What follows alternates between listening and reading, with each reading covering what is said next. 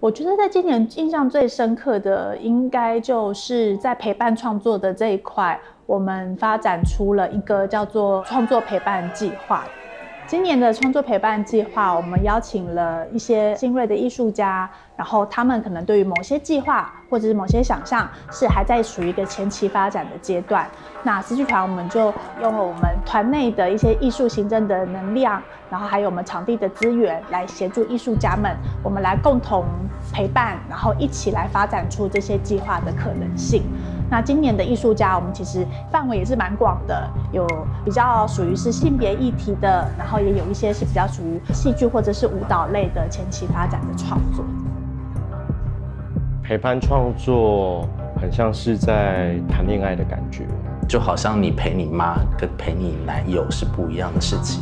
就像魔法少女在前往打败恶魔或者是创造新世界的那个路上。大家都是在往一个成长的路上前进。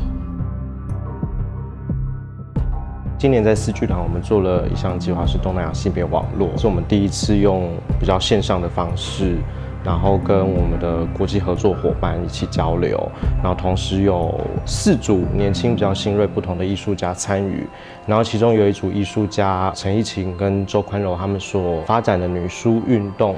在这段疫情期间，还可以有机会透过东南亚西边网络这个平台，发展到泰国、日本不同的场域，然后跟不同的国际伙伴、友人一起交流，然后发展这项作品。那也透过这些活动当中，跟大家建立了许多合作的机会。那好像默默的就形成我们这边是一个译文的交流资讯站的地方。那我们其实也很开心，可以跟大家一起在这个地方交换各式各样的资讯，不管是国内的还是国外的，就一起带回来台湾译文的平台上面。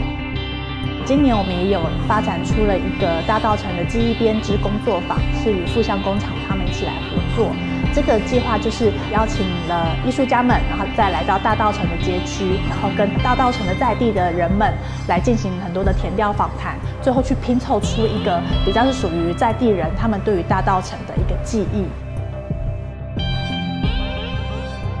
其实获得的很多，就是在地的互动以及文化传承，这都是很重要的一部分。那也非常期待后续跟未来四剧团也可以持续的跟在地地区有一个有机性的互动。